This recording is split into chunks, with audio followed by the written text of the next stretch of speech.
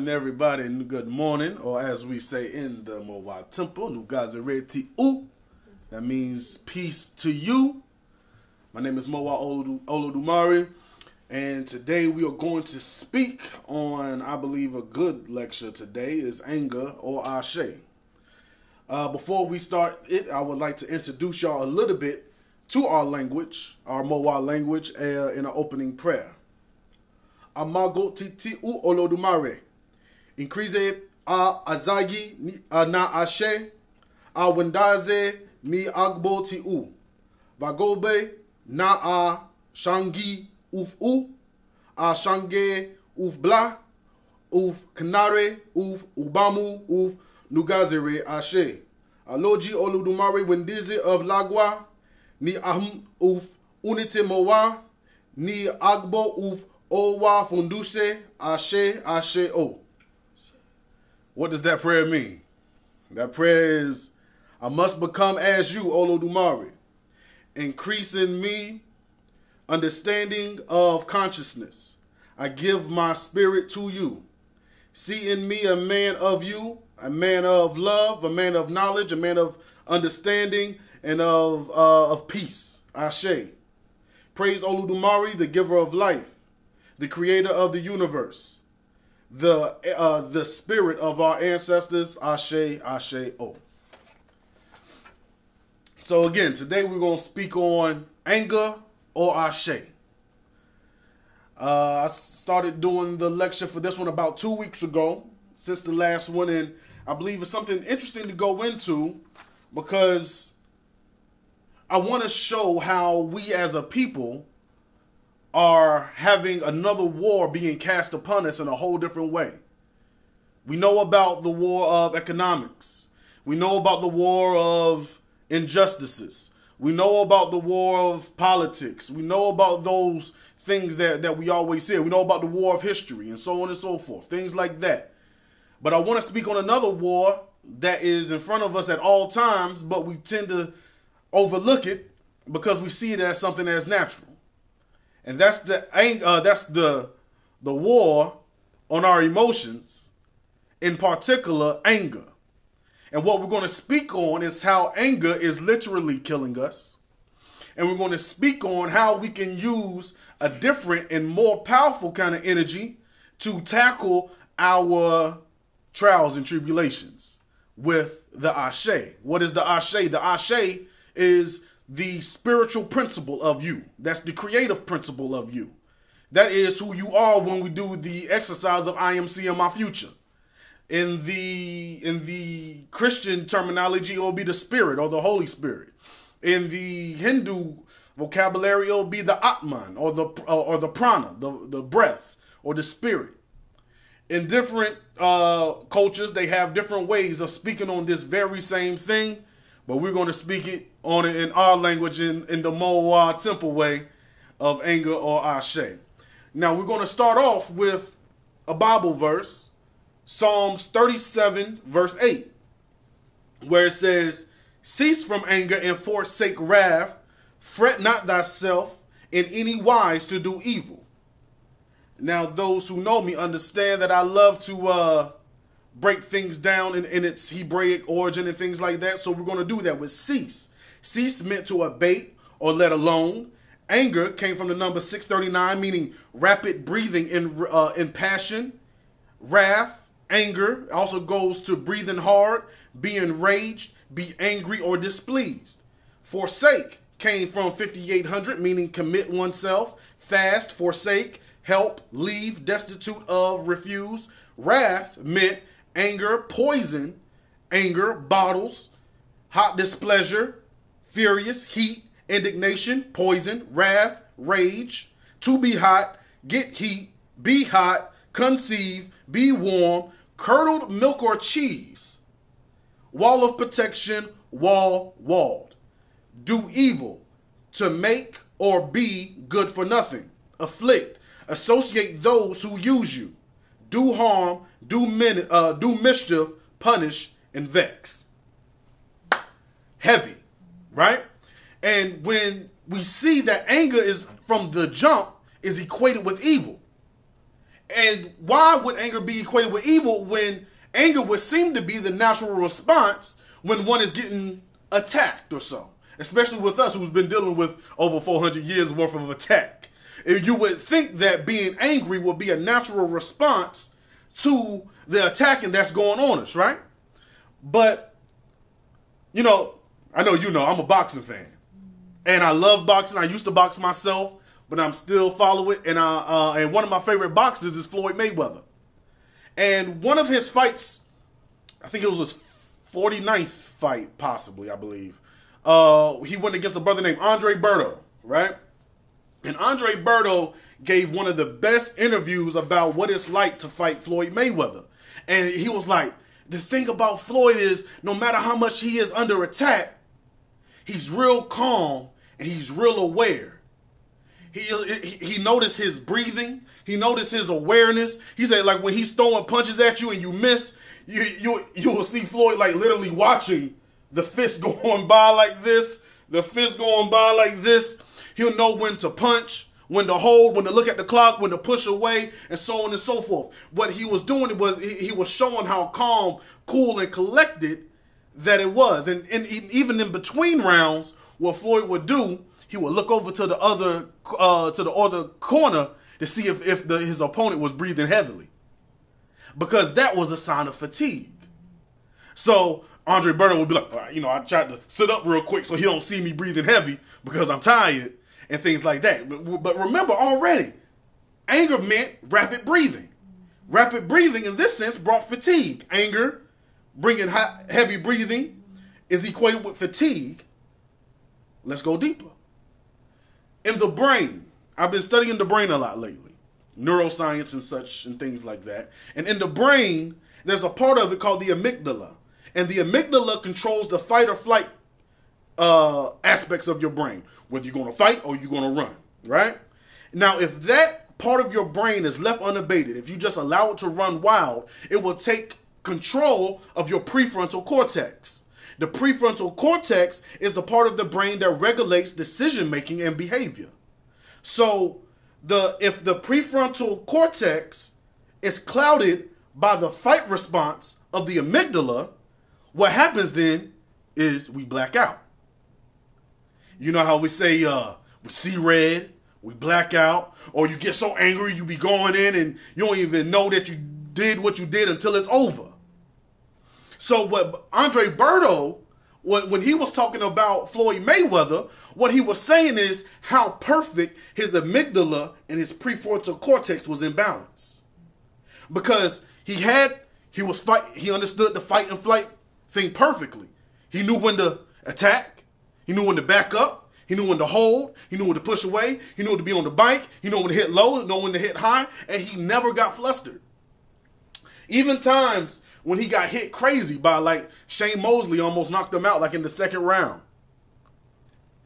He kept his composure. He held on to him, went to his corner, got the advice he got from his, his uncle and his, his father, went back in and totally dominated the fight for the rest of that for the rest of the fight. I don't think Shane won another round after that. You know? Um, so there's a lot of life lessons to be learned in boxing and, and with that mindset of keeping calm even in the state of attack. When you keep calm in a take in a state of attack, you your your prefrontal cortex is not being clouded. And if your prefrontal cortex is not being clouded, you're able to think clearly even while you're being attacked. So, anger. Anger equates to evil when it's not checked by your prefrontal cortex. Your prefrontal cortex, again, it, it, that's the part of your brain that deals with decision making and behavior. So that's where your culture is. That's where your principles are.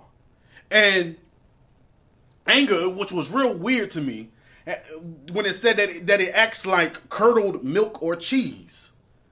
for all things, for anger to be boiled down to in the Hebraic sense, it meant curdled milk or cheese. I was like, why, why is it called curdled milk or cheese? Then I thought about it. When you eat too much curdled, when you eat too much dairy, milk or cheese, what that does is, is it blocks your arteries.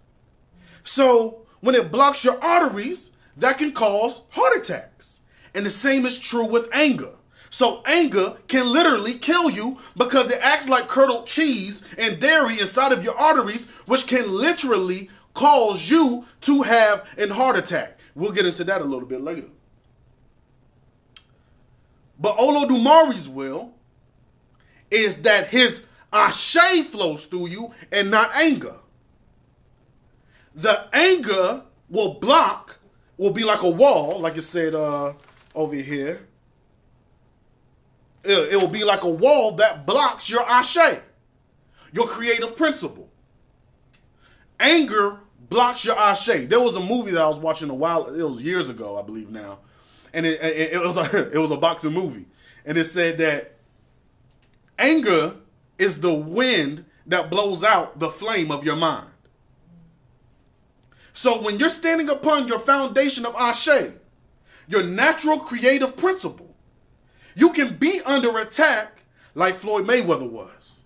But when you're cool minded and you understand your creative principle, you will see the attacks coming and you will think clearly while these attacks are coming and you will not be flustered by the attacks from the crazy people at your job, from the police,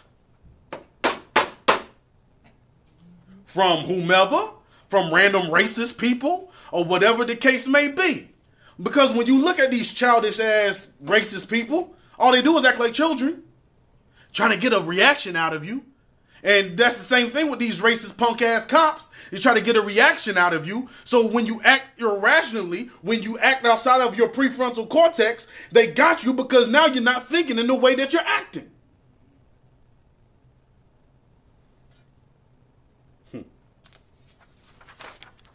Verse 23.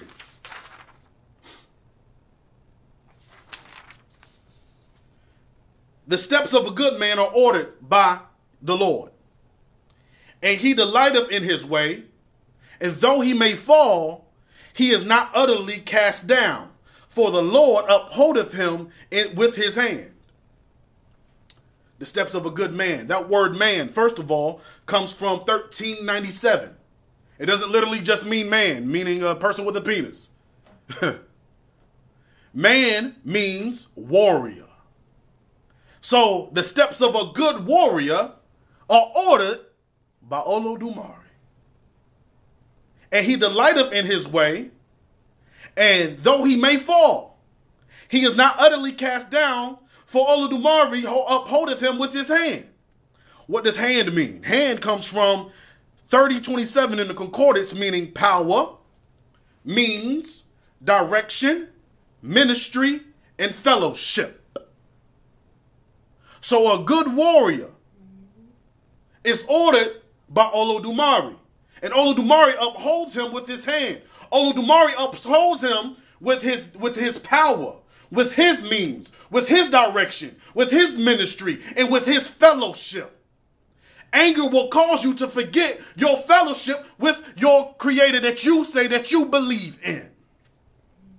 But you're a Christian though, right? You're a Muslim though, right? You practice Ifa though, right? Then you have no business being afraid. You have no business being angry. Because you know wherever you are, God is. We looking up in the sky, waiting for God to return.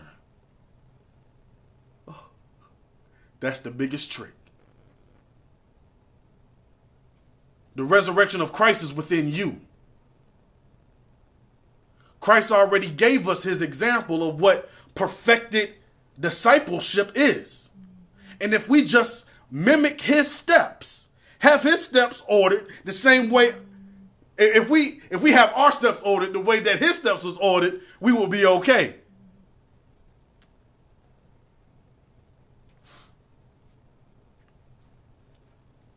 Our Yoruba ancestors understood the importance of being cool-headed as well.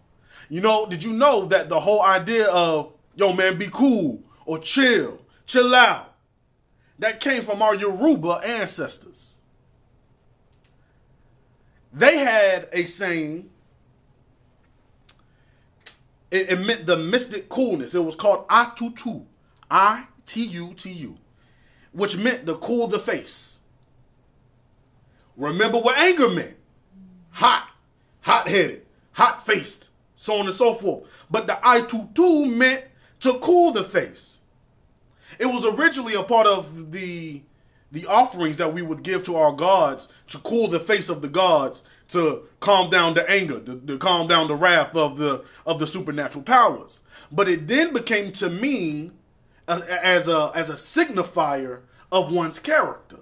It's always boys it always boils back down to character. The Itutu meant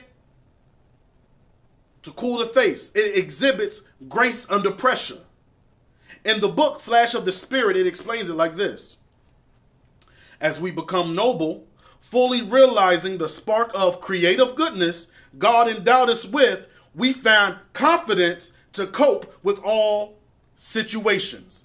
This is Ashe. This is character. This is mystic coolness, all one. I'm going to read that one more time. He said this is Ashe. The coolness of your face. As we become noble, as we become noble, we find confidence to cope with all kinds of situations. Remember confidence, faith. That's the confidence. We'll get back to that. This is Ashe.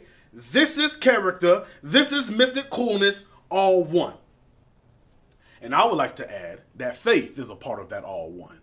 Because again, in Hebrews 11 1, what does it say?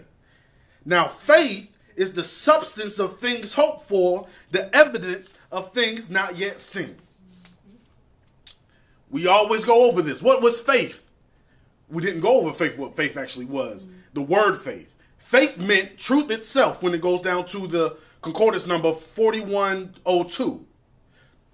Substance meant confidence or confident person. So faith is the substance of things hoped for. So the things that we're hoping for, that substance is faith. And what that substance is, is confidence in yourself. And when you have confidence in yourself, you don't have to rely on anger because you are flowing with God's ashe. The coolness of face. The able to show grace and no matter what your situation might be. Because if they can throw you off of your square, as they always say, they got you. Because if you're getting thrown off your square, then you're off balance. So the truth is, faith, truth is, the truth is, brothers and sisters, is that your confidence is all you need to be as God. You want to be Christ like? Get your confidence game up. you want to be like the Orishas, right? Get your confidence game up. You want to be like Brother Malcolm? Get your confidence game up. Whomever, get your confidence game up. Because when it boils down to it, everything that we went through as a people in this country, was a stripping away of our confidence. They took our language away so we couldn't describe our confidence. They took our spirituality away because we, so we couldn't pray in a confident way. They took our culture away so we couldn't move and live and dance and feel in a confident way. And then they covered all of that with a bunch of uh, inconfidence. Inconfidence? Unconfidence? I don't know. but you feel what I'm saying? They took away our language of being cool, the Itutu, with being, I'm ashamed of myself. I'm not as smart as them over there. I'm not as pretty as those over there. What did Brother Malcolm say? Who taught you how to hate your nose? The color of your skin? The shape of your lips? Who taught you how to hate yourself from the crown of your head to the soles of your feet? All these things was to take away your confidence.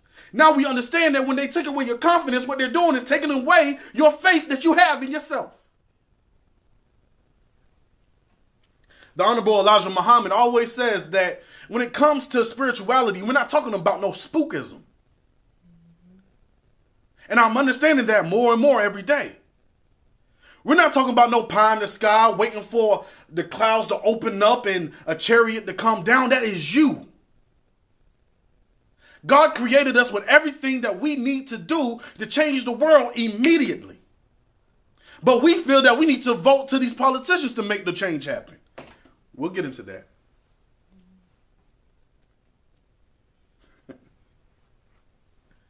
your ashe is your creative principle. Your confidence, your faith is the truth itself. So confidence in oneself will make anger useless. Confidence in oneself will make anger useless. You won't need anger no more if you're confident in yourself. So what does that mean? You're confident in Olodumare's presence? And when his ashe is flowing for you, you don't need the lower vibration of anger. Anger is the lower vibrational version of ashe. As above, so below.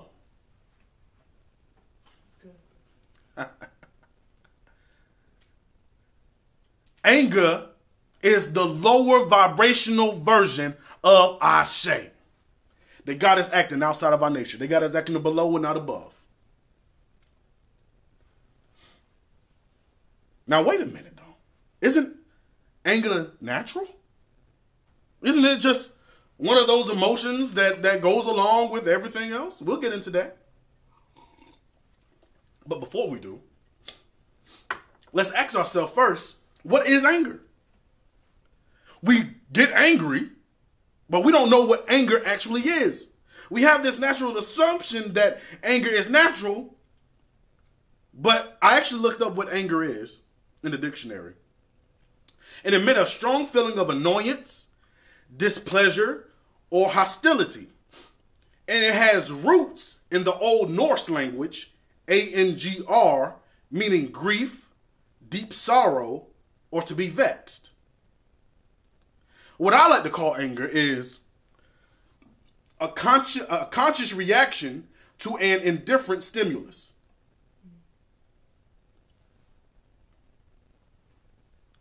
A conscious reaction to an indifferent stimulus.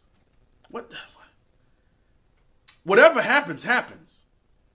But it's up to us whether it's going to be a positive situation or a negative situation. I learned that from my guru, Paramahansa Yogananda. He said that all situations are neutral, but it's up to the consciousness of the person whether it's going to be a joyous one or a not so joyous one or a happy one or a not so happy one. He said that a person in heaven can turn heaven into hell with the perception that they have of it in their mind. And a person in hell can do likewise the opposite. They can be in the most hellish situations, but if they have a heaven type consciousness, they can have heaven even while they are in what they call hell. So we know anger has arrived in our body when we clench our fists, grind our teeth, increased heart rate, but what if when we notice that in our body, instead of acting out in this, we increased our ashe, increased our awareness of our ashe, increased our creative, natural, our natural creative principle towards whatever it is that's causing this uh, great displeasure. Because if we applied our creative principle, we would actually solve problems instead of just being angry about the problems. I guess it's time to get a little controversial here now, I guess. Because all of these protests that are going on right now, it's recording, right? All these protests that are going on right now Boil, them down. They're nothing more than we are angry rallies. We're angry. We're angry. We're angry. Right?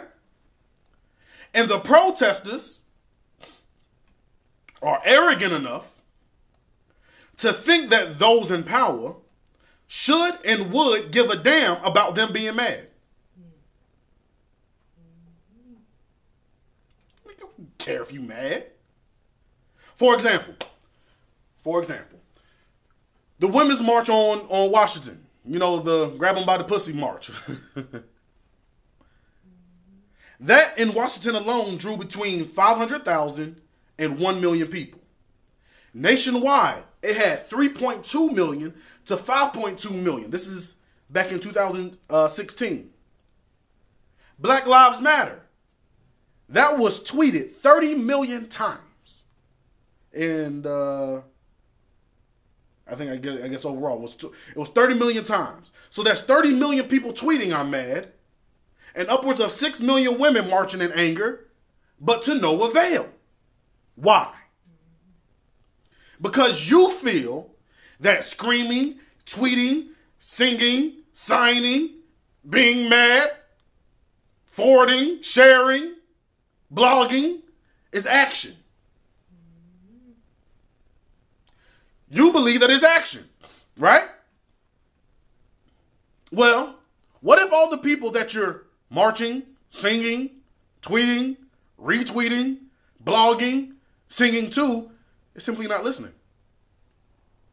What if they don't read your blogs? What if they're not listening to your songs? What if they're not even in the city at the time you're doing your marches? Then what the hell is the point of all of this? What is the point? But you feel good you feel good about it because the dopamine is being released in your brain. That's the pleasure center. You're like, yeah, God, yeah, yeah, I was there and I, you know, threw my flag up and did that, whoop de whoop, got ran over by a car, and you know what I'm saying? And I got the scars to prove it to let you know that I was there and whoopity whop, whoopity whoop, but nothing got accomplished. But you getting sprayed by dog hoses, uh, water hoses. But you getting bit by dogs. But you getting ran over. God damn, that gotta suck to come to that realization that this that precious sister who got killed, doing what I I know she believed what she was doing what was right, but she ended up getting killed and nothing got accomplished. Just one angry person versus another angry person who allowed their amygdala to overthrow their prefrontal cortex to have them drive through a crowd of people killing people. People got injured and people died. People get beat up and bleed all day, every day. And we confuse that with action, but nothing has ever came from, from after that.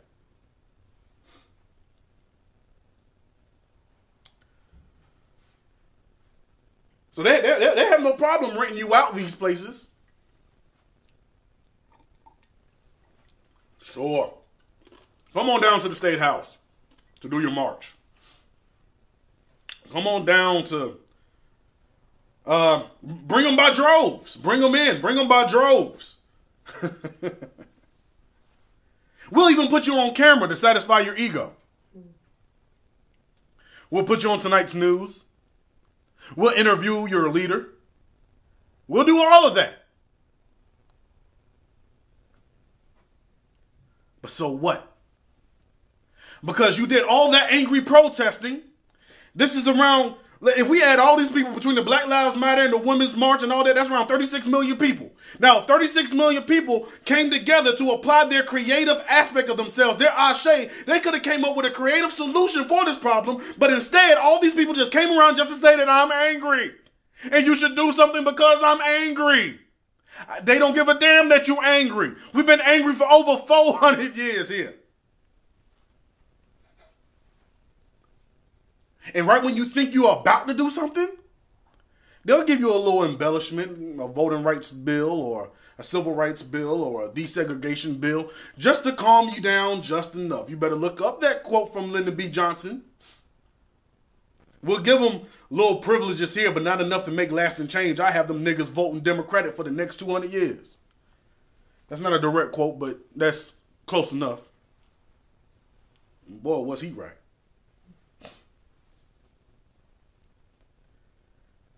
But none of that creative spirit, your ashe, was not placed to destroy patriarchy or racism. All you did, it's recording, right? All you did was stimulate their economy for them to continue doing what they're doing. Bring on 500,000 people to my city so you can protest. Bring on a million people to my city that you so you can protest and do whatever it is that you're doing. Because at the end, that means 500,000 people are going to be staying at my hotels. That's going to be a million people that's going to be eating at my restaurants. That's going to be 500,000 to a million people that's shopping at my malls.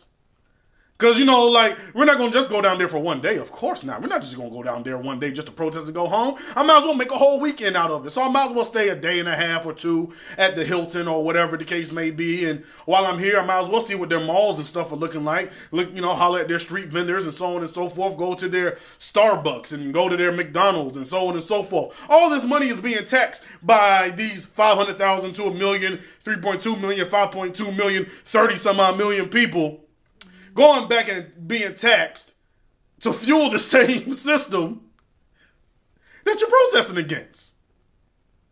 Checkmate. And on top of that, I ain't gonna do nothing about it.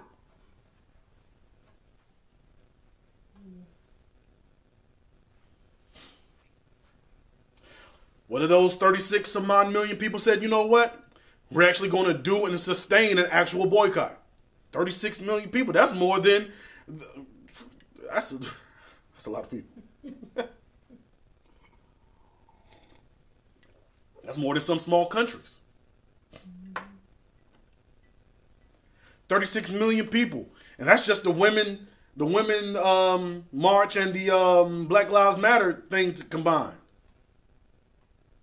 What if those people came together under that same uh, belief of injustice and be like, you know what?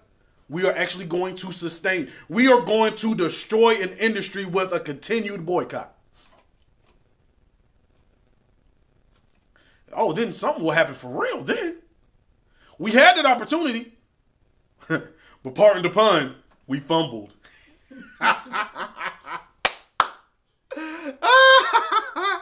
oh boy, we fumbled that one. We had the perfect opportunity. But we don't have the discipline enough. Cease from anger and forsake wrath. Why? Let's look at what the National Institute of Clinical Application of Behavioral Medicine breaks down anger. Step number one.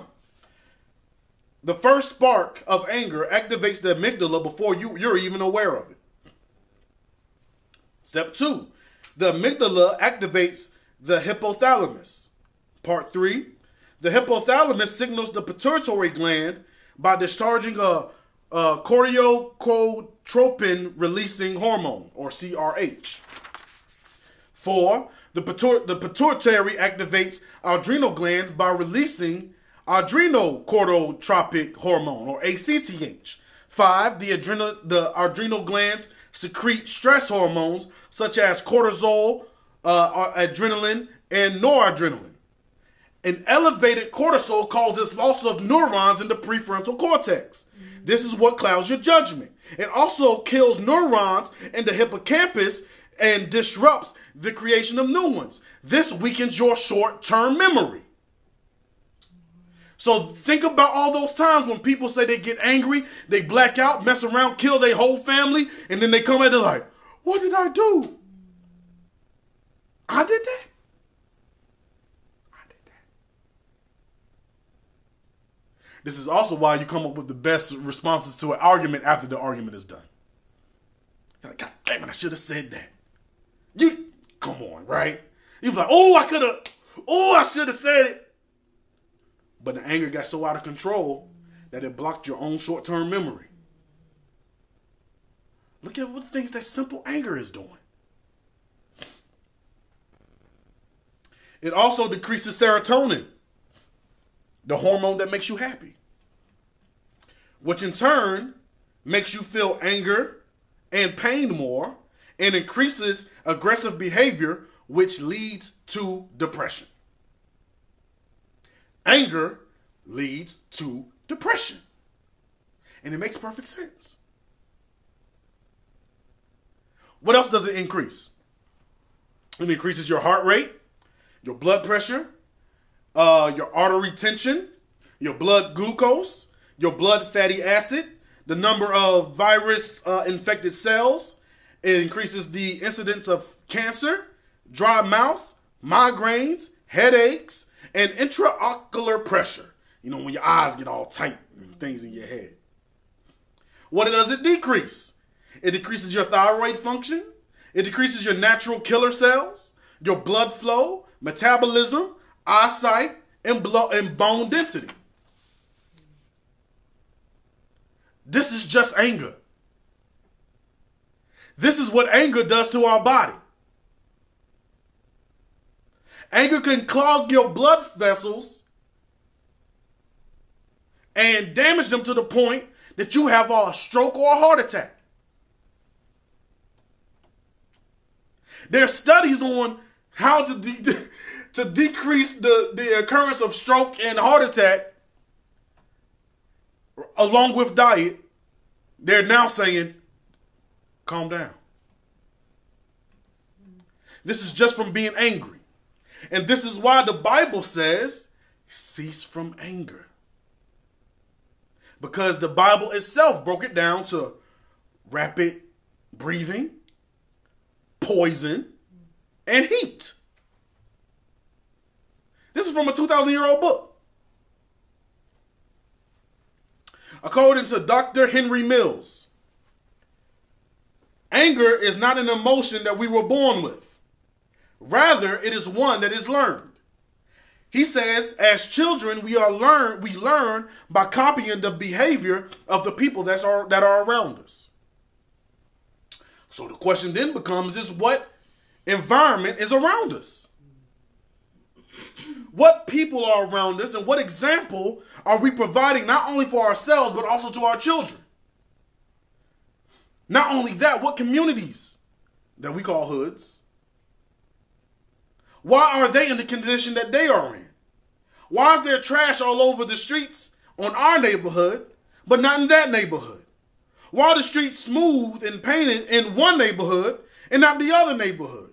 Why do we not have the same issues on Broad River as we do in Lake Murray? Live PD don't go over there as they do over here. Live PD was just in this neighborhood a couple days ago. Why is Live PD over here and not over there? Why isn't there the consideration of how these metal detectors in these fogged windows are affecting the mental health of our children? I was blessed enough to be uh, raised in a District 5 school. We ain't had to deal with none of that. Nowadays, they say like they graduate with majors and minors in high school. Why doesn't Columbia College have that? Why doesn't LR have those same opportunities as Dutch Fork. Why is it when I buy an, an apple that I have to wash the wash wax off of my apple over here and not wash wax off of the apple when I buy it from over there? Why is wax on the damn apple in the first place? if God didn't put it there, who are you? The reason is, is that we're dealing with another war that's right in front of us that we don't see it because we've been born into it so much that we think that it's natural. We've been born into anger that we think anger is natural.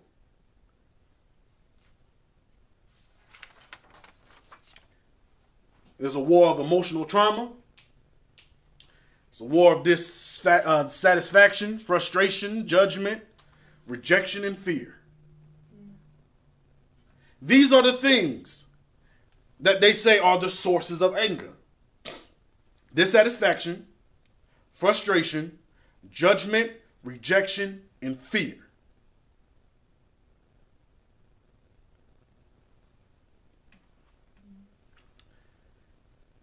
That is how anger is defined, but your brain interpreted it as stress stress. The secret war is stress. And that stress is causing you to get hot headed and act irrationally.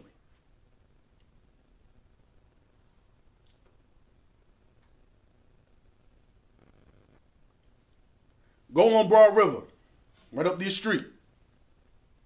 Or look at any of the main streets of any low income neighborhood where you might be from. And what do you see? Nothing but fast food restaurants, am I right? Hell, to get here, you got to drive between a KFC and a Taco Bell.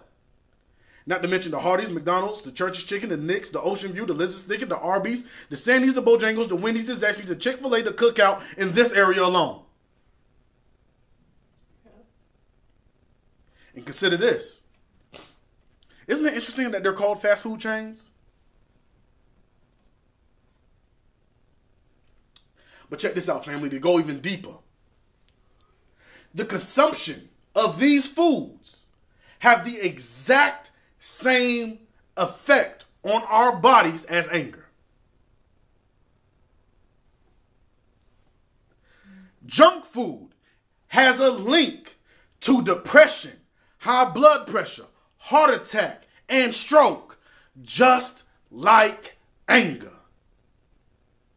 The same with cigarettes, the same with drugs, the same with alcohol. All of these have the same effects on our body as the thing before.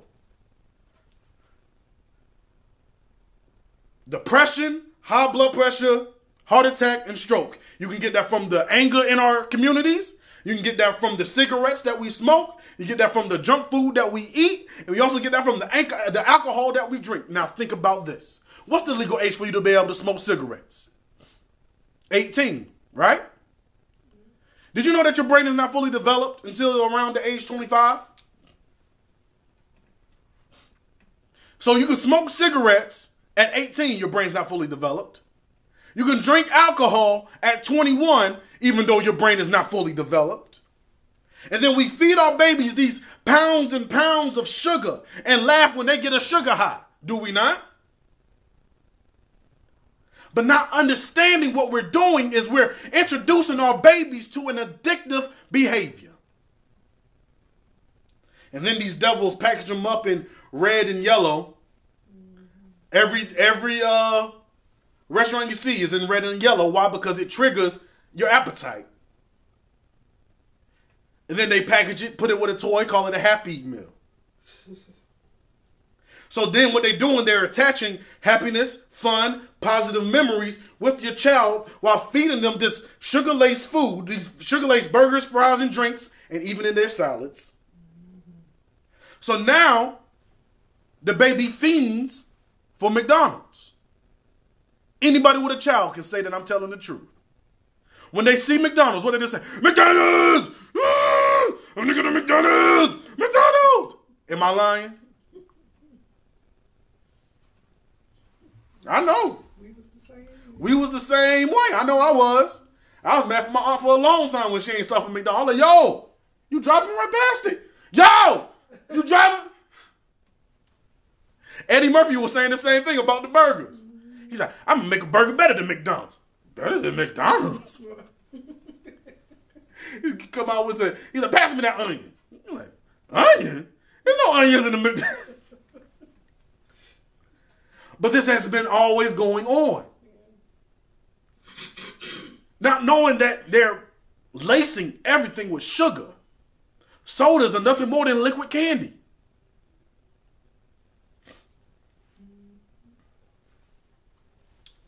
So remember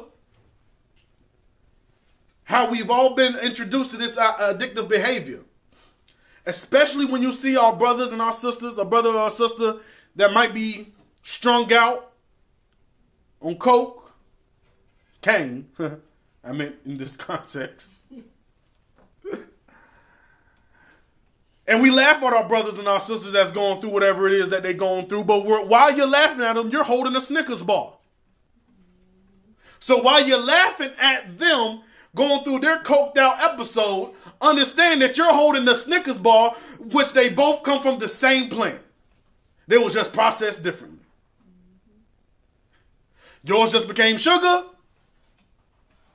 Theirs was cooked up in such a way that it became cocaine. The only difference between the two is the chemistry of how they came into physical manifestation. Okay, so what? What are you trying to tell us, Brother Mowa? What I'm saying is, anger is not an emotion. Anger is an induced state. Anger is an altered consciousness that is just as unnatural as the food that we are consuming and the environment in which we live. That is blocking the light of our ashe as it blocks the blood to freely flow through our arteries and veins. This is the war. Now, before we get into how we can overcome it, because it can be overcome, I'm not one just to preach doom and gloom. And I'm not the one just to talk about a problem without giving solutions. I'll leave that to those other folks that you enjoy. We've seen the physical reactions to anger, but I went to the Bhagavad Gita, a Hindu scripture, for the characteristics of anger and the actual character of one who lives in anger. I would recommend you reading, well, one, reading the whole Bhagavad Gita. It's a beautiful book. But in particular, for this lesson, is read all of chapter 16. But I'm going to be bouncing a little bit around in the Bhagavad Gita, chapter 16, verse 4. It said, hypocrisy, insolence, anger, cruelty, uh, cruelty, ignorance, conceit. These, Arjuna, are the qualities of men with demonic traits. And if you was wondering, the divine traits was in verses 1 through 3. The divine traits was fearlessness, purity of heart, persistence in the yoga of knowledge, generosity, self control, nonviolence, gentleness, candor, integrity, disengagement, joy in the study of the scriptures, compassion for all beings, modesty, patience, a tranquil mind, dignity, kindness, courage, uh, courage, uh, and a benevolent, loving heart. Lord Krishna agrees that anger is a demonic trait, as it said in the Bible. This is just some of the the uh, the signifiers of this demonic trait. In the Bhagavad Gita, chapter 16, verse 7. Demonic men realize, excuse me, demonic men do not realize what should or should not be done. We can stop right there. The demonic man does not know what should or should not be done. Why? Because your anger is blocking your creative reality. When you allow Olodumare's Ashe to flow through you, or in this case, the prana, the breath, that, that makes you you. You know exactly what to do because Olodumare is holding you up by his hand, which meant he's holding you up by your fellowship with him. But if you're angry, you're blocking that fellowship. So you don't, you're not in tune with the divine intelligence that you naturally have. So now you feel that you have to go outside of yourself to figure out what it is that you must do. Is that right? Verse 8. They say that life is an accident caused by sexual desire, that the universe has no moral order, no truth, or no God.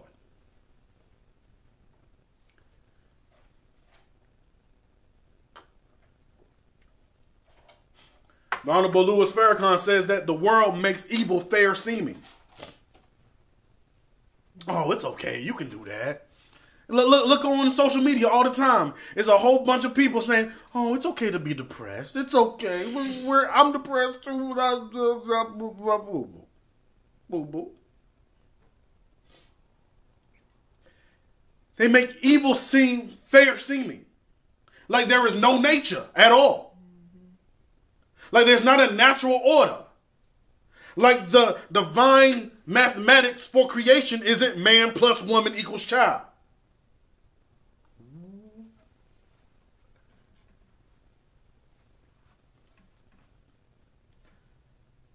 We are created to multiply. The demonic man says that there is no natural order. Connect those to yourself.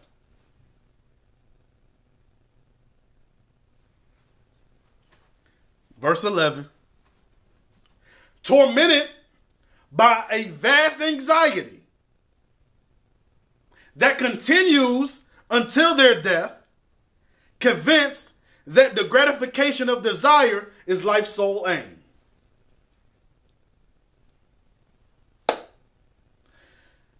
I was already controversial once. I might as well continue, right?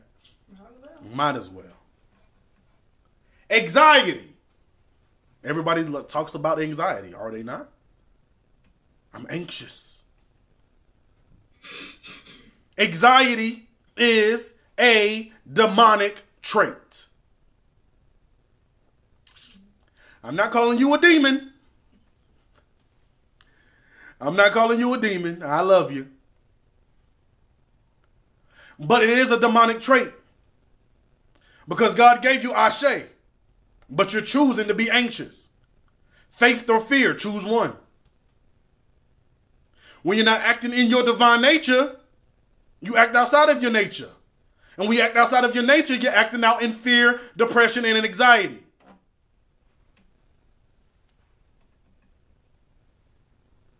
Why is anxiety a demonic trait, Brother Mowa? I'm, glad, I'm so glad you asked. Because what is the base of anxiety? Fear. Right or wrong? But in verses 1 through 3 of the Bhagavad Gita, chapter 16, it said fearlessness is the trait of the divine. And in the Bible, it said that God has not given us a spirit of fear, but of power, of love, and a sound mind. Am I right? So, what does that mean? That means if you're living in fear, you are living outside of your divine nature. God didn't give you a spirit of fear.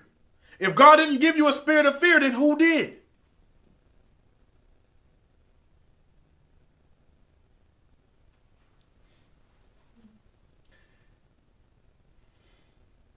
You know, even in science, it says that the only two natural fears that humans being have is of, of loud noises and of falling. Everything else is made up. Everything else is made up. Google it. Whatever. You ain't got to believe me. But the only two natural fears that we have is falling from tall heights and of loud noises. So that fear of public speaking in your mind. That fear of pursuing your dreams in your mind.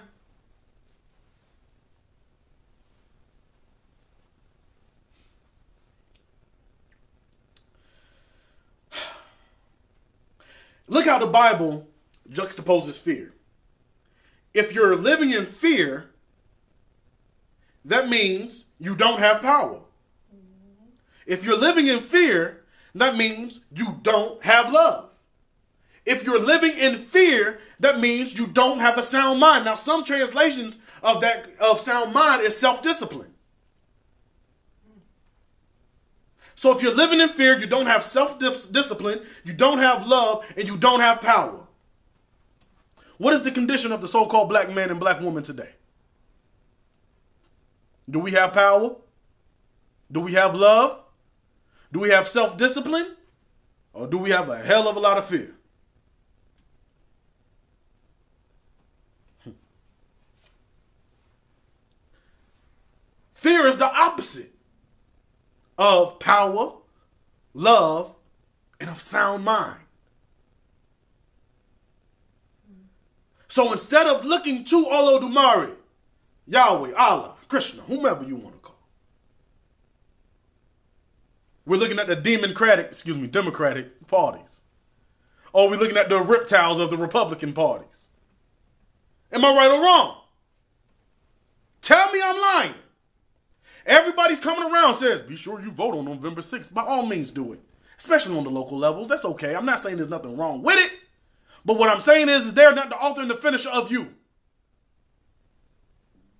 You have something within yourself that's more powerful than all the voting in the world can do.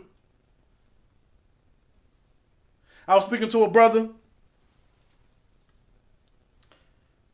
and you know, he was speaking on the, the importance of voting, and I'm not disagreeing. But he said, you know, when you vote, you gotta stay on these people to make sure that they do what they said they was going to do.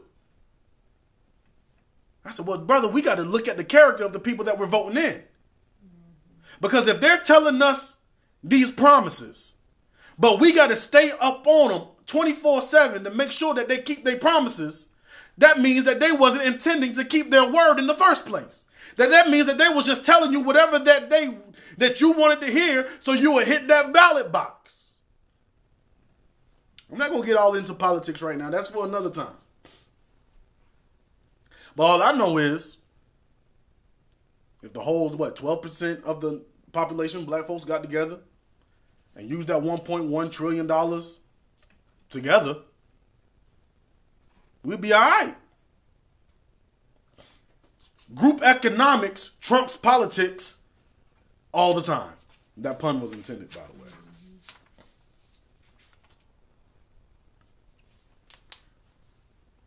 But we look towards the world's politicians to solve these problems, do we not?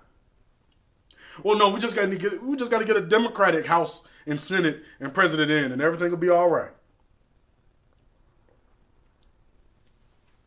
We got to get these Republicans out. That's that's what the problem is. It's those Republicans.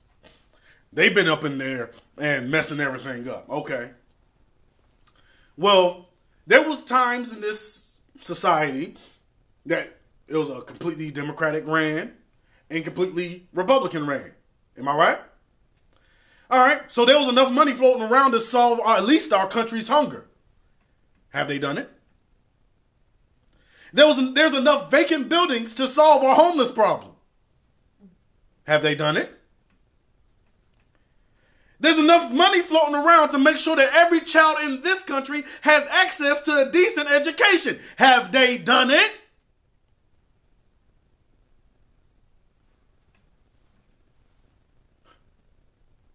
Does police brutality still exist? Has it existed under Bill Clinton as it does under Obama, as it does under Trump, as it did under Bush? Has anything changed from there? Did it stop under Republicans?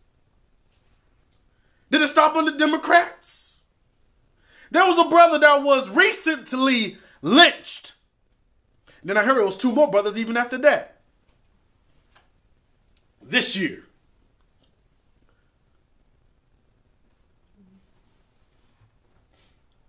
Is that because it's Trump's fault?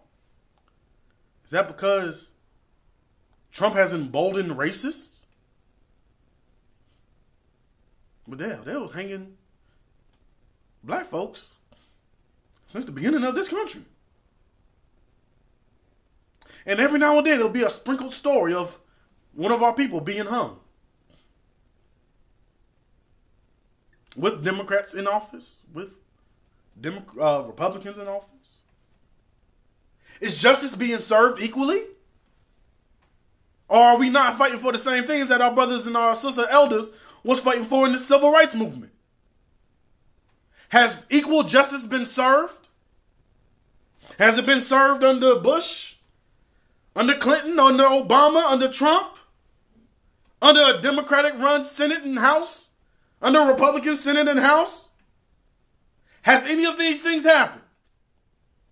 But we'll have our lovely sister, Michelle Obama, on this vote. Practice your power. This is your power, they tell you. This is your power. Vote. By all means, do it. Because, you know, allocation of money and so on and so forth. I'm not mad at that. I'm not mad at voting. But I'm not saying that that is your power. Because if all of us used our ashe together, if all of black people, hell, maybe in Colombia, got together, pulled our resources, we, we might be at least be able to pull together to build one school. Because, you know, we want better schools, but we send our kids to these schools that have these racist ass teachers that's kicking out our babies because of the way that their hair naturally sprouts out of their skull. Am I wrong?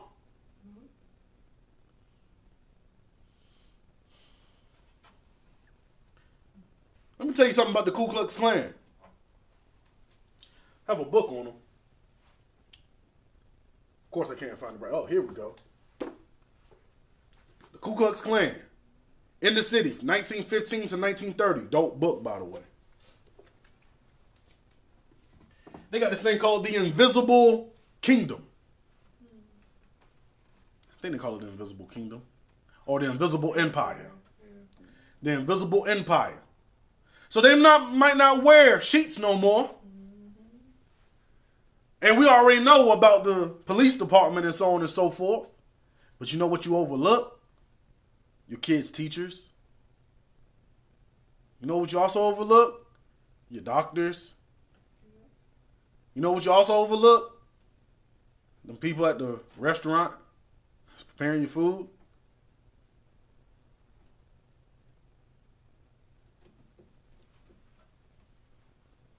They used their ashe. Because we all have it. And ashe is not a respecter of persons. It just has to be used. They use their creativity. They say, you know what? We can't be as overt with our racism anymore. We can't wear our sheets and conehead as things anymore.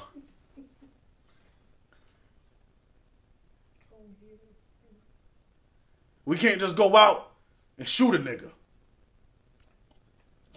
as easily. But if I put on this police uniform, I got a badge of protection.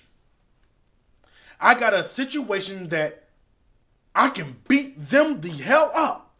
And if they hit me back, I can charge them with assault against an officer. The, the complexion of protection. They use their collective intelligence to create a reality. While we thought it was sweet.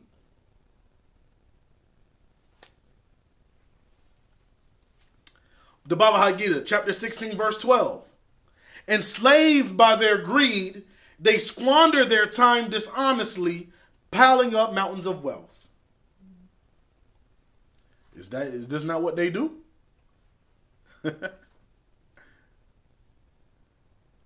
Is this not what they do? People we vote in? Of course, there's good hearted people in there, sure. But these are your saviors, right? like Michael B. This your king, right? Hell no. But before we get all high and mighty, talking about the white man,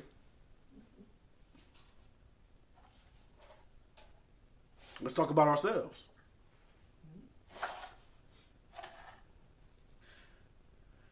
Do we not have this depressed ass wisdom going around on Facebook all the goddamn time that I'd rather cry in a Mercedes Benz than cry on a bike?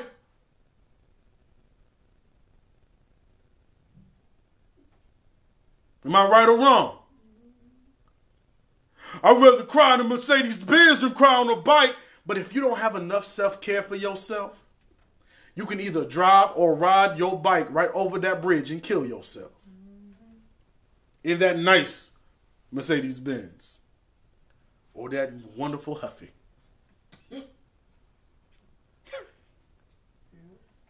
Is that not what they say?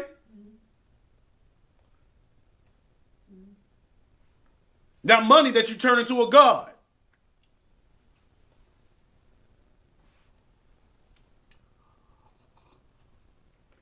Do they not have that depressed ass wisdom I'll be so depressed until I hear that sound that the ATM makes.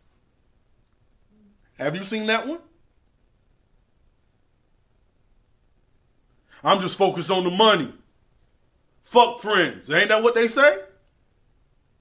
I don't need friends. No new friends. No new friends. No new friends. No, no, new.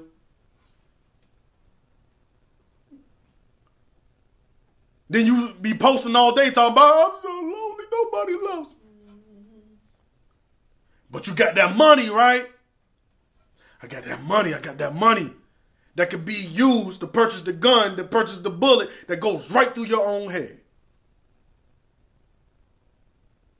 Am I right?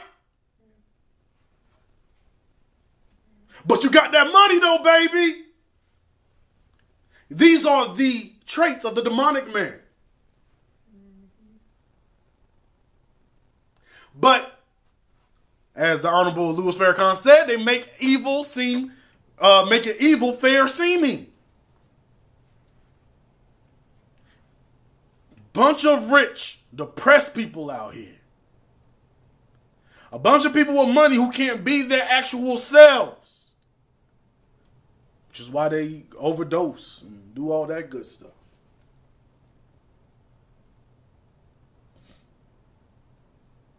But we live in a culture that promotes anxiety. I'm not pretty enough. I'm not smart enough. I'm not strong enough. My abs don't show enough. And then even on the on the on the flip side of that, there was a book in the library that said it is okay to be fat. Do you know they made up this thing called fat phobia? Fat pho and they said that fat phobia is the new language of racism. I said, get the hell. Sidebar. Why are all these random ass movements trying to hijack the movement that we have went through with racism for 400 years? And nobody lynching you because you fat.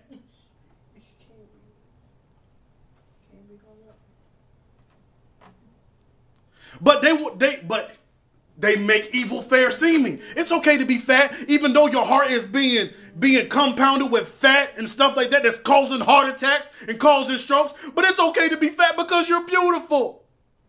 I'm not saying that you're not beautiful, brothers and sisters. But we need to take care of ourselves, do we not?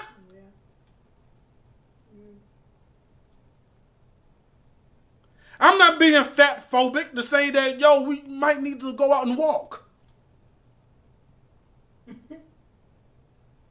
I'm not fat shaming you. I'm trying to make sure you live in your best life.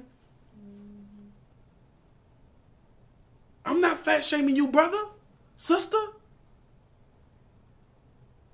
But if the war goes on right now, what you gonna do? And then let's say you're morbidly obese. Then on top of that, you're angry. And on top of that, you're eating the junk food. You're decreasing your life 10, 20, 30 times.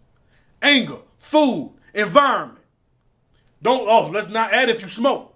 Let's not add if you're doing drugs. Let's not add if you're drinking alcohol. Crazy. The very things that they promote all day, having fun. My drink in my two step, my drink in my two step. It's older example.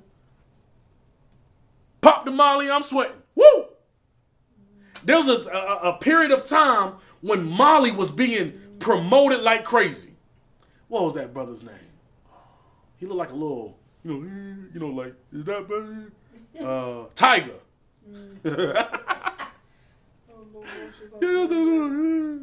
he said like it was a song called um, like it was like looking for Molly. Look, you know what I'm saying? Future, Percocet, Molly Percocet. Percocet before he even got into a verse. He's shouting out Percocet, Molly Percocet. And then when you listen to the song, the song ain't got shit to do with Molly's a Percocet. So why, brother, do you act? Why, why, why? What is the purpose? So if the Percocet, the Molly's don't get you, they they gonna arrest you because you have it on you. So either you're gonna die or get incarcerated.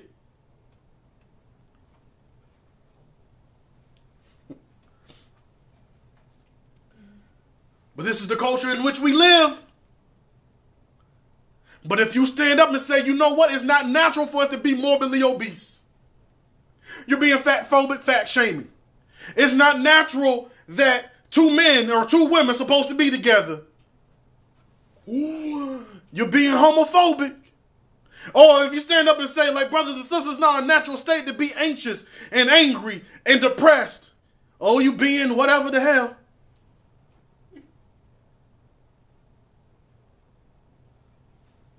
Am I right? All these things except yourself. All these things except yourself.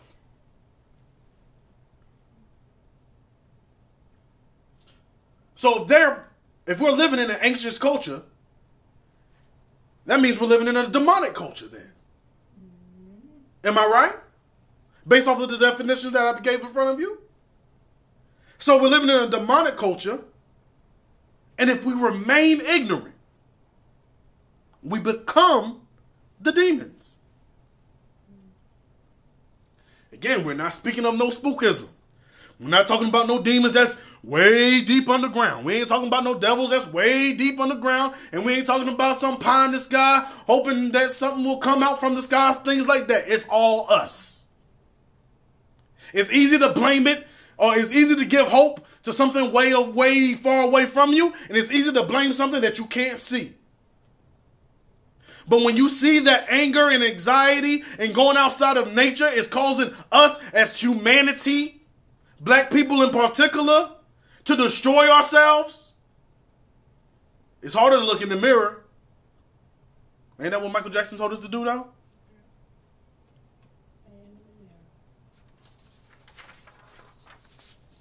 But the moment you know your God, your God, Allah, Yahweh, Olodumare, whomever,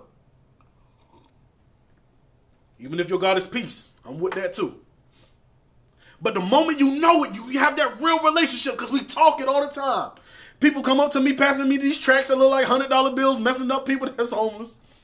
I saw one that said it was supposed to, you know, like folded like it was a hundred dollar bill, and he opened it up, it's not. It's like, is it? Are you disappointed? Jesus will never disappoint. It got me one time. Uh, what? That's neither here nor there. But anyway, but the moment that you have a legit relationship with your Creator, the moment you know that wherever you are, that's where God is. The moment you know your nature with the Almighty,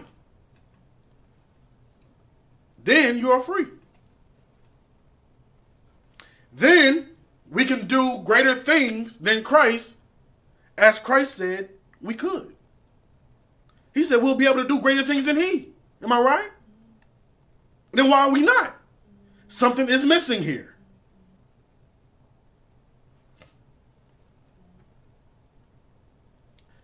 But these realizations must be coupled with action. Faith without works is dead. Which means what? Your confidence without works is dead. Mm-hmm. You say that you God, right? If you're not that extreme, you say you're a Christian, you're a Muslim, you're a Jew, Hindu, or whomever, whatever. Whatever it is that you say that you are, you should be a representation of that God, which means you should then move in a way that the world is not moving in. Am I right? In the world, but not of it. Am I right? Bhagavad Gita, chapter 16, verse 17. Check this out. Still speaking about the demonic nature and character. They go through outward forms of worship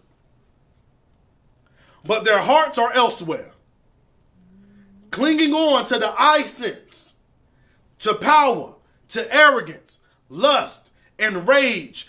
They hate me, denying my presence in their own and others' bodies.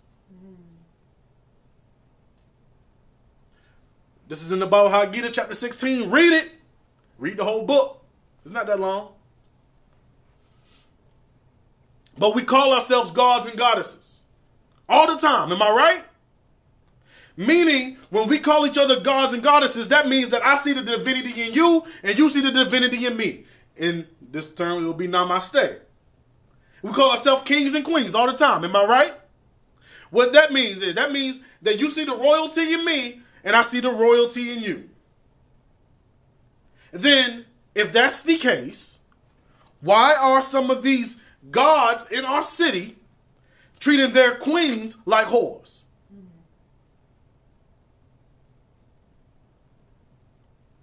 It's recording, right? Why are these so called gods of our city treating their queens like whores? Why are they treating queens in general like whores?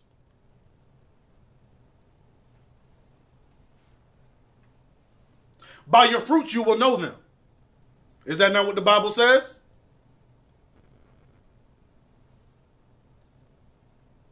These so called kings,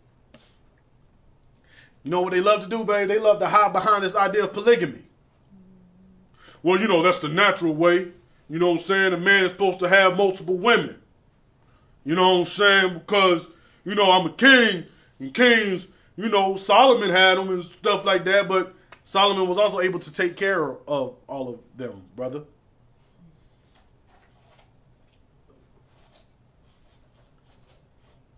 Don't hide under the guise of polygamy to promote your own selfish desire and, and fantasy. You're not about polygamy, you're about your perverted fantasies.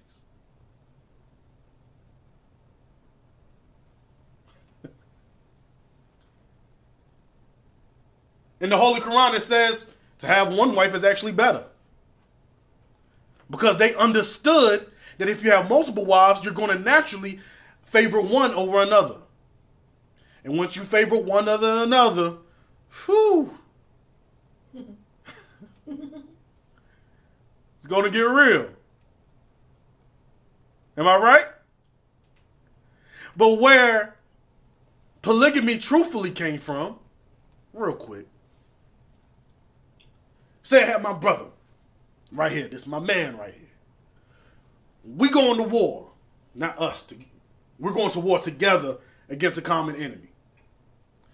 I have a wife and kids, or even if I just have a wife, and he has a wife, we going to war, fighting for our country. He dies. In that time, one of the worst things to be is a widow. So what I would do, because that's my man's, is that I would take on his wife and his children and bring them under my family. So that his wife and kids would have the protection of having a husband and a man in their lives. Their children would still have a male role model, and that and, and, and that wife, that woman, would still have help. And she wouldn't have to walk around with the scarlet letter of being a widow. That's where it came from. not solely sexual desire. So why do you want to be polygamous?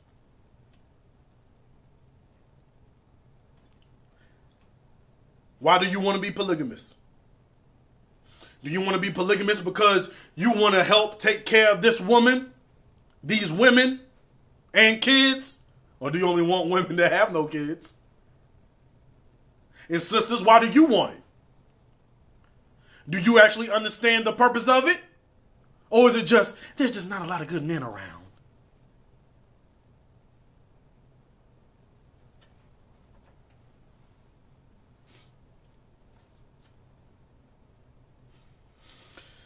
Okay, I know. I'm the only one who sees this. It's only me. I know. I know. I'm bugging. I'm tripping. But look at the way that we uh, treat each other if you're denying the presence of God that's within myself, or you're, or if I'm denying the presence that's with of God that's within you, I hate God. This is what Krishna was saying. They hate me, denying my presence in their own and each other's bodies. They hate me. I, mean, I used to say that when I was a kid. They'd be like, you know, when they used to make fun of me, like, yo, you ain't making fun of me. You making fun of God. Because God created me. So if you got beef with me, you got beef, you got beef with something beyond me, bro. Just a little small stuff that we used to say all the time. That like makes so much sense now.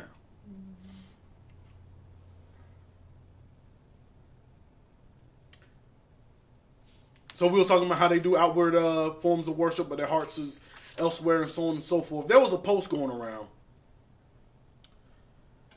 Uh, I believe it was brother T.D. Jakes' daughter, beautiful sister, doing her preaching thing, getting it in, was telling a stadium of women that you have reached your next level, sis. You said that we said that this was a convention, but we lied. This is your graduation and the stadium erupted. Yeah! Woo! That's right!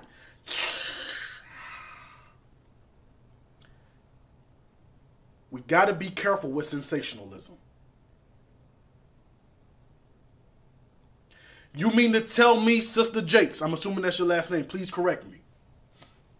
You mean to tell me in that stadium full of thousands and thousands of women that every single one of them has graduated.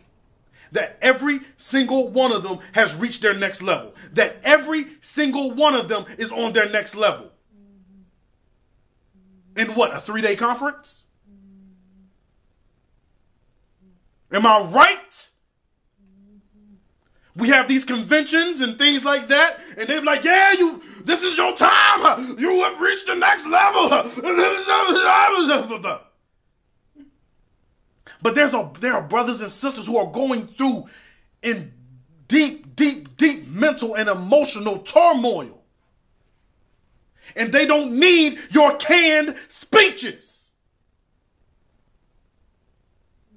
Am I right?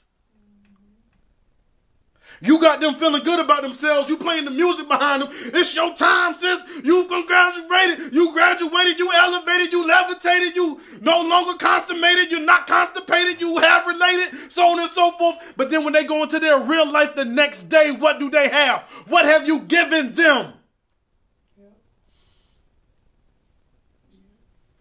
Other than a good time.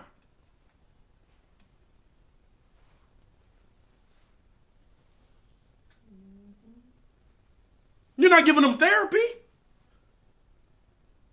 You're giving them a three day convocation that might be two hours apiece. So it's not even like the whole day, whole day. So it's like six hours out of 72. And you're just telling them that they have graduated and went on to the next level. Be careful. Be careful. Be careful because you saying that they leveling up, and if they try to walk in a leveled up, uh, leveled up way, and they have not really leveled up, and they fall and kill themselves, this, that, and the other, the blood is on your hands.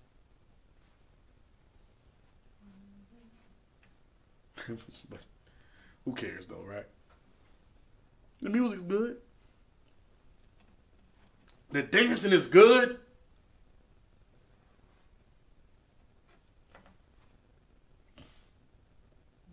Am I wrong? No. You got to be careful. It's okay to speak things as they're not as though they were. But you got to be sure that these people are ready to level up the way that you're saying that they're leveling up. If you just jump in saying that you have leveled up and you have not had a one on one consultation with these people, you are just doing sensationalism and that's dangerous to do. Because these people are hanging on to your words. Uh, TD Jakes' daughter said, I leveled up. I've done stepped up and this and the other. So I'm going to go ahead and jump into a relationship even though I'm not actually ready. And now I done got into a relationship, got pregnant with somebody who I didn't want to get pregnant with. Now I'm a messed up mother. Now I'm a messed up wife. And this and the third because I thought that I've leveled up. Be careful. Be careful. You are the shepherds. We are the shepherds of the people. We are shepherds, man. And if all you're doing is entertaining our people instead of teaching them how to have a legitimate relationship with the Creator, I would not want to be in your shoes.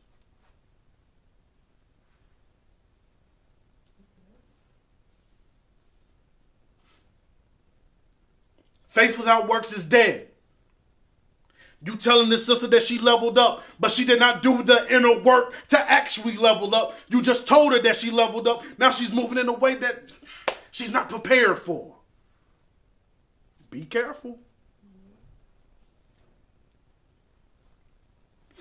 Inner work requires repentance. We've all fallen before. It requires forgiveness of ourselves and others. Sometimes we must accept the apology that we have never gotten.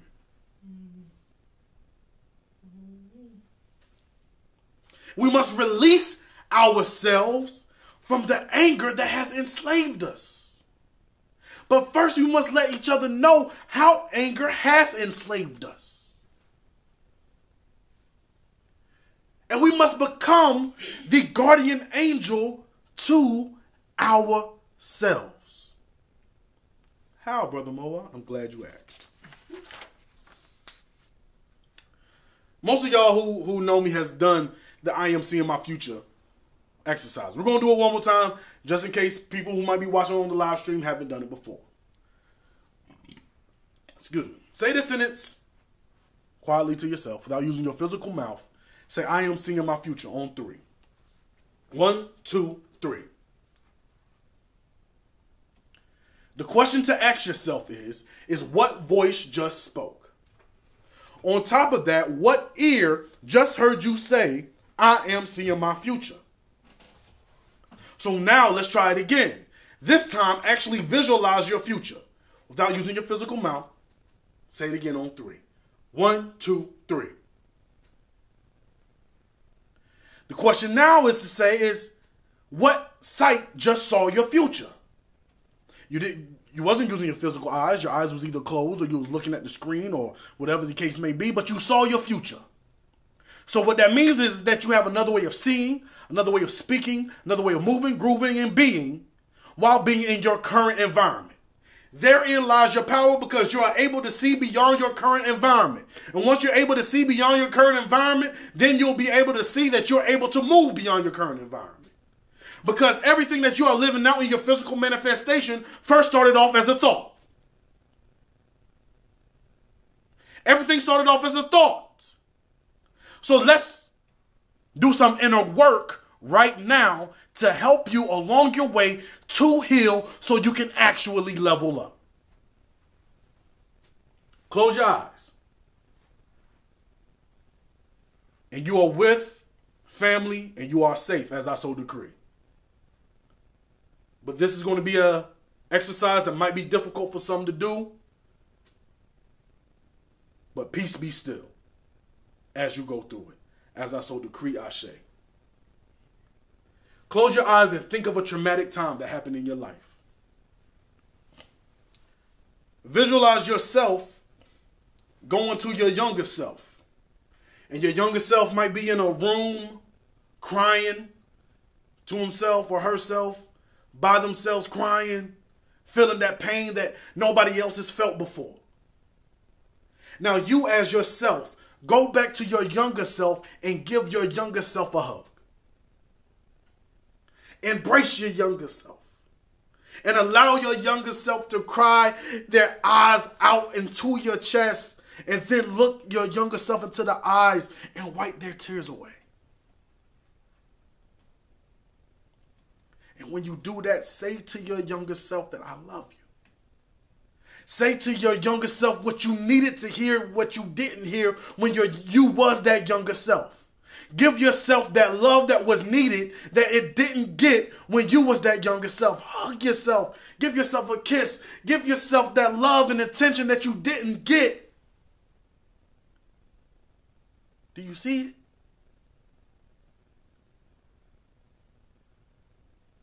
Look at your younger self after you say, I love it. Give yourself, your younger self, permission to heal. Give that younger self permission to cry because you might not have been crying when you was younger because you felt that you didn't have the ability to cry. So when you visit your younger self as yourself, give yourself that uh, uh, uh permission to cry it out into yourself's chest right now.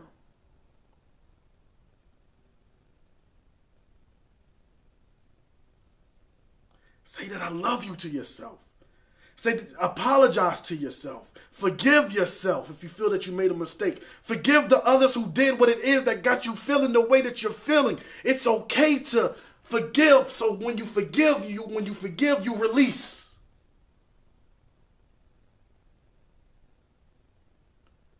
Forgive yourself and others so you can release that anger that has been tying you down and weighing you down for so long.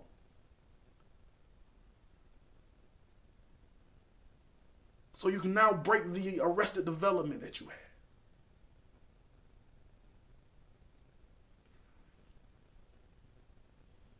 Now say to yourself, without using your physical mouth, to your younger self, look at him, look at him or her in the eye, and say that we are free now.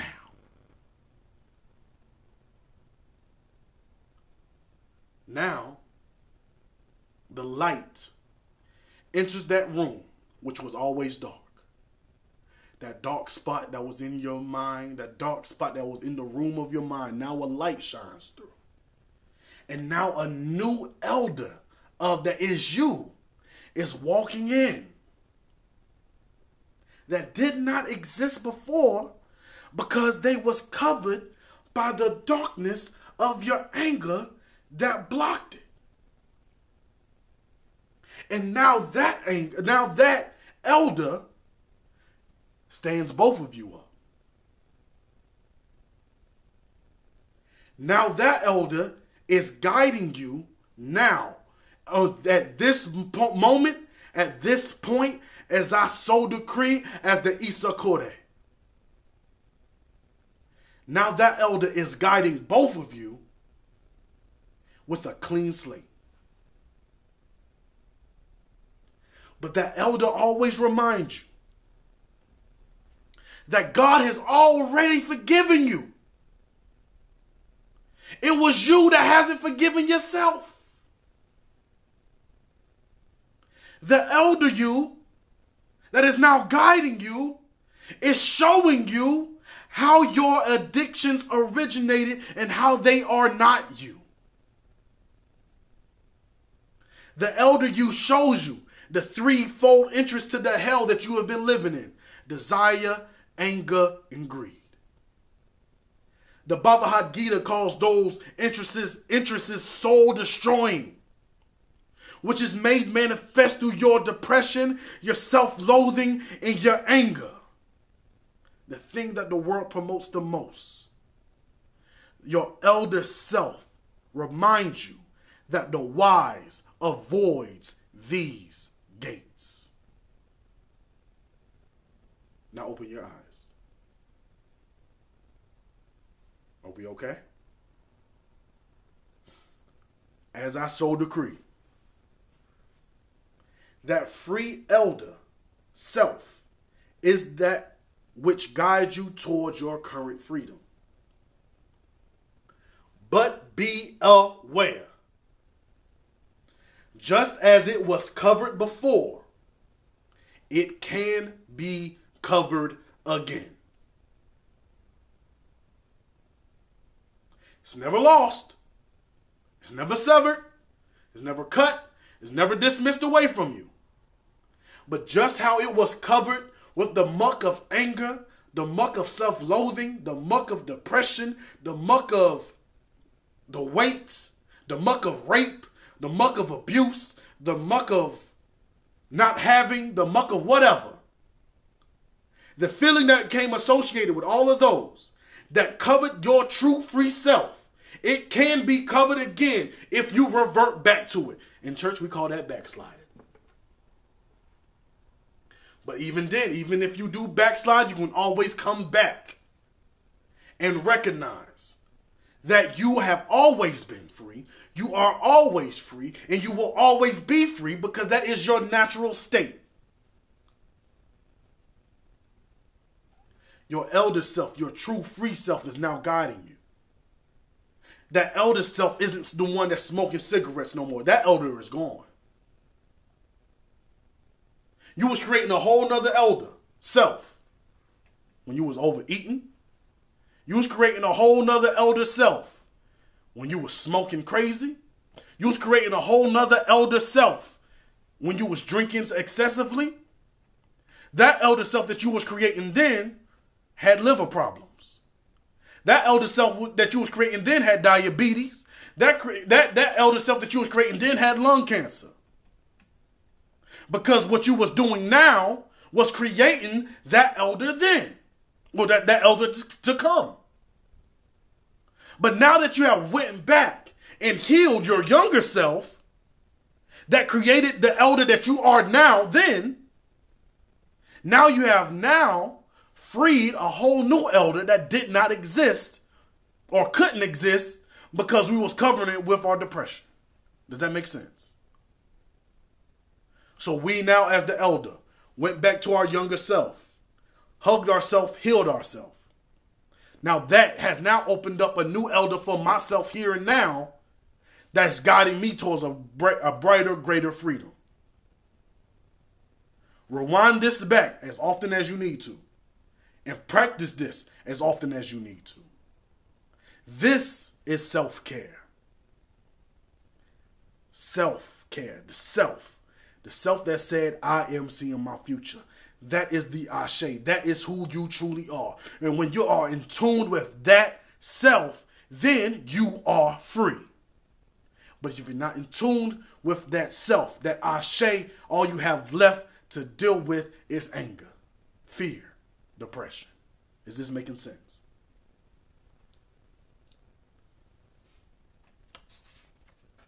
So strive. Strive, brothers and sisters. Strive towards that freedom. Submit to God. That's all that Islam means. Submit. Be one who submits their will to God. Not my will, but thine will be done. What does that mean? When you're submitting yourself to God, you're not submitting yourself to the cigarette. The thing that you run to when you feel that depression creeping back up. When you feel that anger, God. When you feel that pain, God. When you feel that depression, God. God. Give it to God. Don't give it to the cigarette companies. Because we broke down what exactly what it does to your body. It does the same thing as anger and junk food. Don't give it to those foods. It takes time. It takes practice. And it can't just be given to you. I can talk until I'm black and blue. But it boils down to you, brothers. It boils down to you, my sisters. This is self-work that has to be done. Now you we can come together and do this work together, but I can't do the work for you as much as I would love to. Again, that's why it's so dangerous to say that you leveled up if you haven't done this inner self work.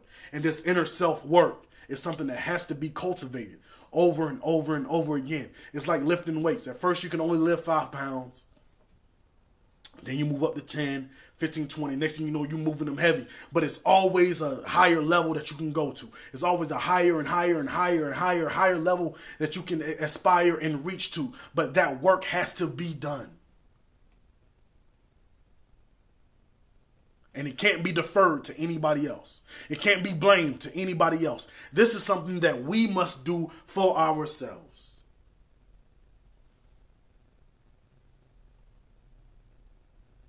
We must become new people in spirit. We must be not of the world, but free from the world, even while we're in the world. Does this make sense? Because this world promotes a demonic culture of anxiety, fear, depression, feeling that we're not lovely enough, beautiful enough, happy enough. They attach happiness and love and happiness and, and all this stuff with cars and jewelry and this, that, and the third. Is that not right? They attach status with being petty and all that good stuff. You know, pettiness, pettiness only means small mindedness. Is this not what they do? But if you have no idea of who you actually are, you aspire to be these things. But that's not you. So you decide, then you desire to be more and more petty or whatever to fill this hole.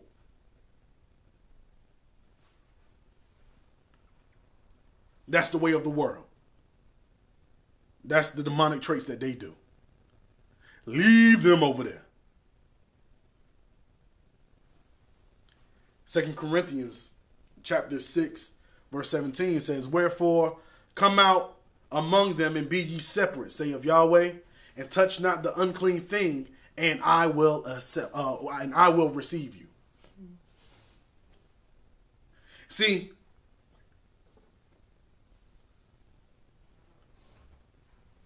the realization of God is not a right.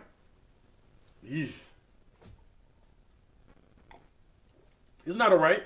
It's a privilege. He said, I will receive you. But there was prerequisites to that.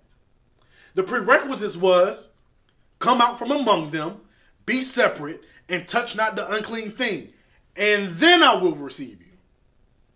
Unclean comes from the Greek root uh, 169 in the uh, concordance, meaning impure, foul, unclean, demonic.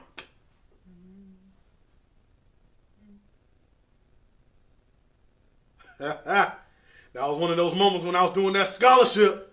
I was like, yo!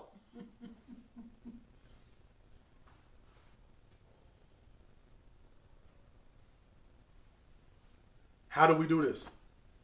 I close with the how. And if you're like a church kid like myself, church kids, the way that we do this is by putting on the full armor of God. Oh yeah, we taking it back there. We taking it back to Ephesians 6 and 11. Put on the whole armor of God that you may be able to stand against the wiles of the devil. Wiles came from the Greek 3180, meaning the method, trickery, systematic procedure, plan, orderly arrangement, course of conduct.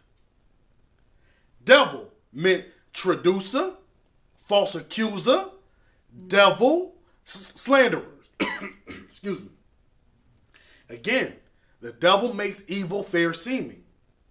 The devil has a systematic procedure and a method of trickery and a course of conduct that they want you to follow. And if you submit, you give your divine innate power to the devil, which is the only way that the devil will have any power anyway.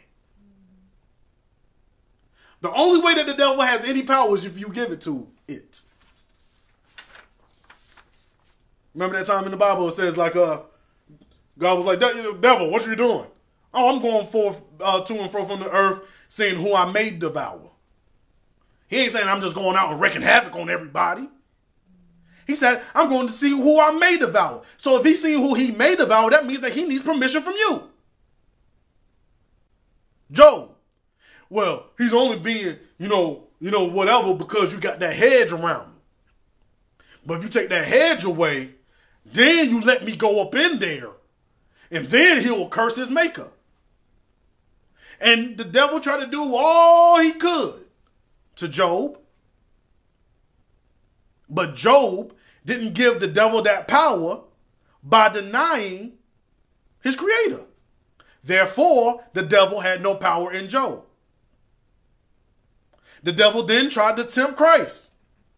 Yo, if you just kneel before me, submit to me, I'll give you all these kingdoms and all this, that, and the third. All these, you know, those piles of riches that I was talking about in the Bhagavad Gita. Get thee behind me. I ain't got time for that. Get- That's like Christ version saying, "Fuck out of here." Sometimes you gotta fuck out of here, the devil. You know what I'm saying? Like, fuck out of here, because I know who I am. Verse twelve. For we wrestle not against flesh and blood, but against principalities, against powers, against the rulers of darkness of this world, against spiritual wickedness in high places. What does powers mean? That broke down into the Greek. It's uh, concordance number 1849, meaning influence, supernatural influence. Mm. Rulers. Rulers came from 2888, meaning a world ruler or an epithet of Satan. Mm. Darkness. Darkness. Came from 4655, meaning, you ready? Shadiness. Which went to 4639, meaning shade. Are we not all the time saying, oh, you being shady? Oh, the shade. You're throwing shade at you. throwing darkness around. Throwing darkness on the light. Because most of the time when people are being shady is when a person is doing good for themselves. Person out here trying to live their best life. But here come one being petty and shady. Spiritual. What is spiritual? As in spiritual wickedness. Spiritual came from 4152 that went to uh, 4151, which meant, which meant mental disposition. But this ain't spiritual wickedness. What does wickedness mean? Wickedness came from 4189, meaning depravity, malice, uh, calamitous, and diseased.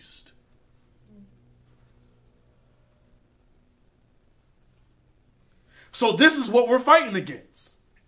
We're fighting against uh, influence, uh, supernatural influence of Satan that causes darkness, shadiness, and and, and a, a mental disposition of depravity, malice, calamitous, and diseaseness.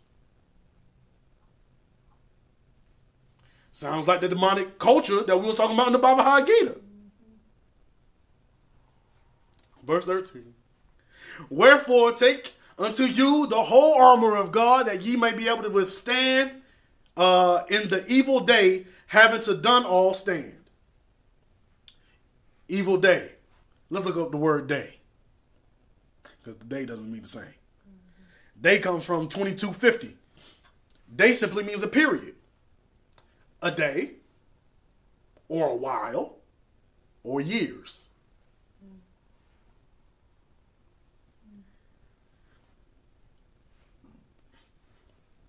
Having done all to stand. Stand comes from 2476, which means to appoint, to bring, abide covenant, establish. So when you have on the full armor of God, and it's not your clothes, it's not a dashiki. It can be a suit. You can be wearing a suit. You can be wearing nothing. It's your mental disposition. But when you have on the full armor of God, when your day comes, which is a period of time, which could be years, you will appoint its ability to affect you. You will have the ability to say, Get thee behind me. You will have the ability to go back in time and give yourself a hug, heal yourself so now you can be free. This is what Christ did. Christ appointed, he wasn't appointed to.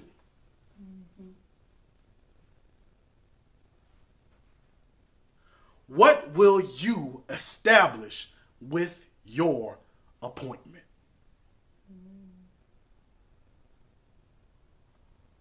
Verse 14 Stand therefore, having your loins girt about with truth, and having on the breastplate, breastplate of righteousness. You know what's interesting? What loins meant came from 3751. Brothers, it meant procreative power. I speak to the brothers because on the natural end of it, you know how we procreate. That will also mean your children that you bring into the world. But it also says procreative power, procreative power, that's your ashe.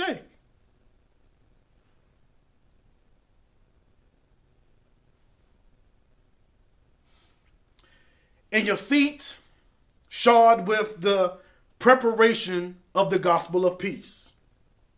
Peace came from 1515, meaning set at one again, quietness. Peace is quiet. Anger is not. Verse 16, above all,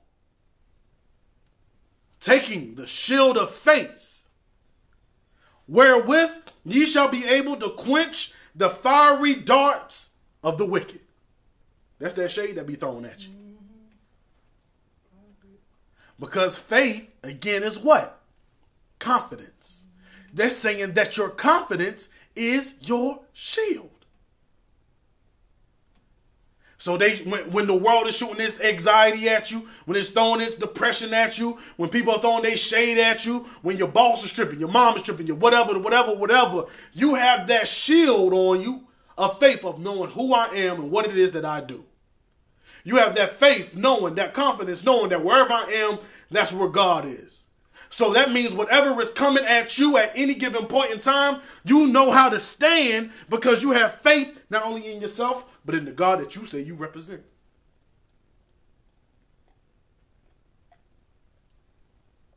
We doing all right?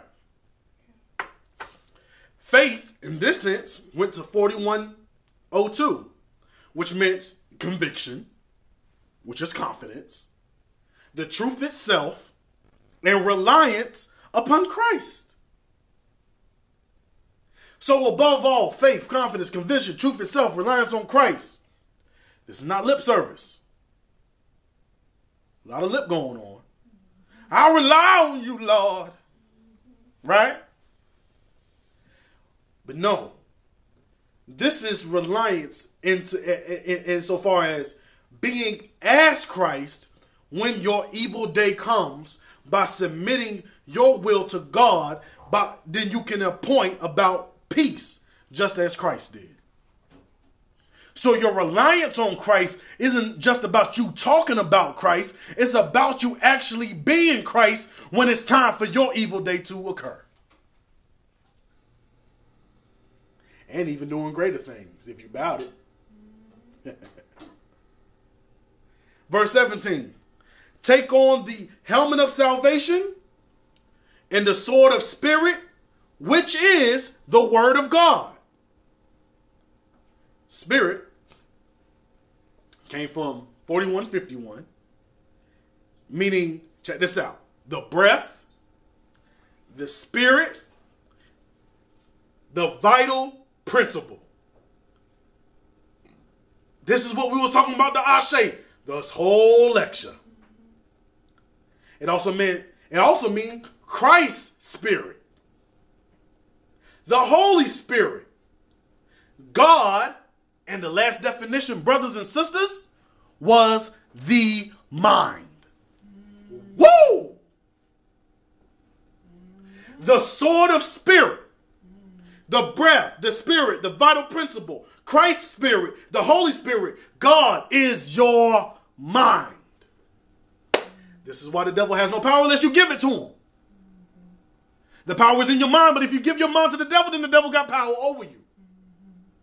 But if you can hold control of your mind in the truth in itself, that truth in itself is that you should have faith. The faith is your confidence in yourself. It all boils. It, it's like a, it's like a roller coaster. It's like it all comes back to you, and it all goes back to God.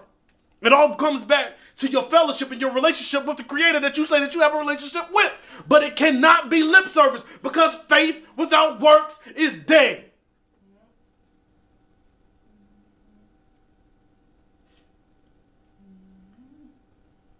Carol Rich just had an album called The World Is Mind. M-I-N-D. That brother was on point. Don't whatever you see is because you see it. Because you're appointing what it is that you see, with the vocabulary you have. Do you have the Do you have the vocabulary of faith, of confidence, or that you a nigga, worthless, deserving of death? Mm-hmm. This is what the ashe is. Ashe means it's similar to amen.